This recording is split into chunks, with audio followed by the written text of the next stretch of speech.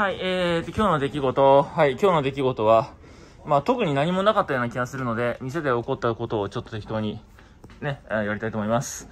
えーと、今日はね、なんだっけ、あれだ。ポケモンカードのボルテッカーがちょっとだけ再入荷したんだよ。えー、あとフュージョンアーツもあるし。えーなので、えーまたお一人様5パックで販売開始しました。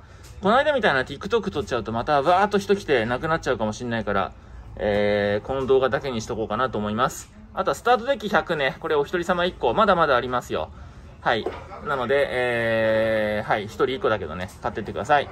はい、あと DM のやつとかあるしな。で、ボルテッカーまだある？あとどんぐらい？まだ、あと2箱。3、まだあるね。はいはいはい。まあ、そのぐらいですよ。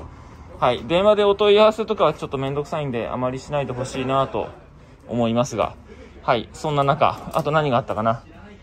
あとは、大会は、そうだ、今日ポケモンカードのジンバトルがあった。参加者4人だけ。まあ4人だ、あ、じゃあじゃあ5人だ。途中で来たんだ、5人5人。そうそうそう、そんなのがありましたよ。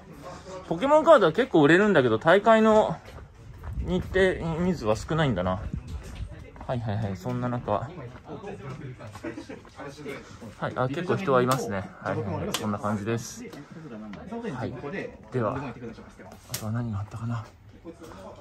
あとは何があったということもない日もあるんだよね。なので、そう、今日はこのぐらいでごまかしておこうかなと思います。